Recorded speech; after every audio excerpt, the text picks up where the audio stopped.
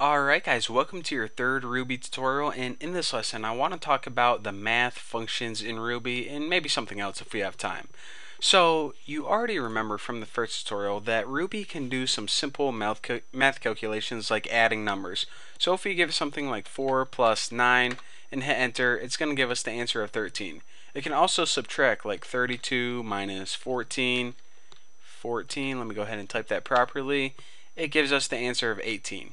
Now anytime you want to multiply two numbers in Ruby, you have to use the asterisk on your keyboard. Now the asterisk is a little symbol above the 8 on your keyboard. So 4 times 6 would be 4 asterisk 6, which is 24.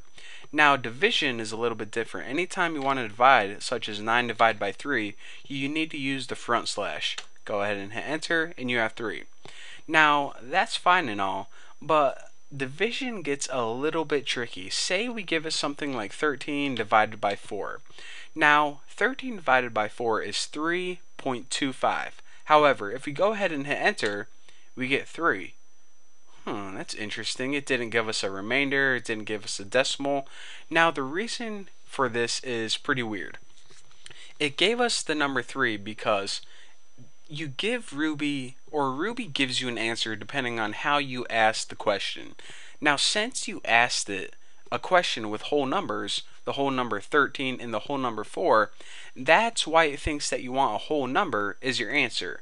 And that's why it gave you a whole number rounded to the nearest whole number and not 3.25 or 3 and 1 fourth or anything like that. So if you want a number with a decimal point, you have to ask it with decimal points is the question, such as 13.0 divided by 4.0. Now, when you ask it like this, it gives you the answer 3.25. And we'll talk about different data types later on, but these are called ints. Ints are basically whole numbers, and floats, F L O A T, is basically a number with a decimal point.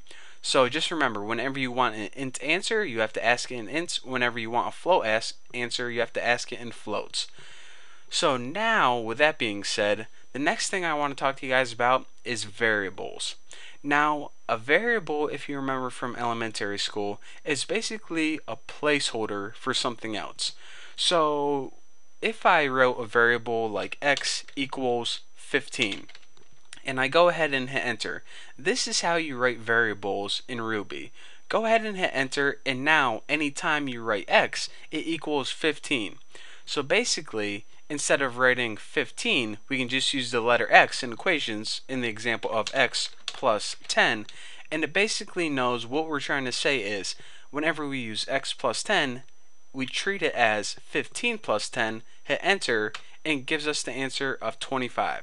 So basically, to create a variable, just write the variable name, which is, I'll just say it's y, hit the equal sign, and give it a value which can be something like 69. Now go ahead and hit enter. Now what it does is it stores the value of 69 into the letter y. So now every time we use the letter y, it treats it as 69. So y plus 20 equals 69 plus 20. That's what it views it as. And whenever we hit enter, gives us the answer of 89. So basically, just remember that's how you create variables, and a variable is a placeholder for something else. So there you go. There is your very simple tutorial on math and variables. And if you don't understand any of this stuff, again, I need to stress, ask me on my forum, tnbforum.com. I'm going to be moving a little fast with this, so if I'm moving too fast, just either leave me a comment or let me know. But anyways, thank you guys for watching. Don't forget to subscribe. Don't forget to um, add me on Google Plus, send me a million dollars, so on and so forth.